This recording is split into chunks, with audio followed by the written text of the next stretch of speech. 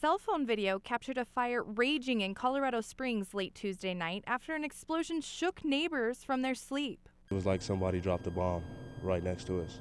But instead, it was an explosion engulfing the home with flames, seen as far as half a mile away. I ran up to the lady's burning house as close as I could, and then the second blowout happened, and I was still yelling and screaming to see if that lady was inside. With no response, neighbors began assuming the worst. She knew me ever since I was growing up, basically.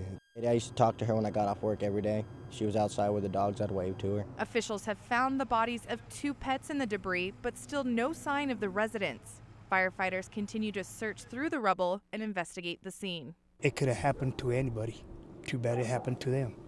Authorities still don't know what caused the explosion. For CBS 4 News, I'm Jen Hollenbach.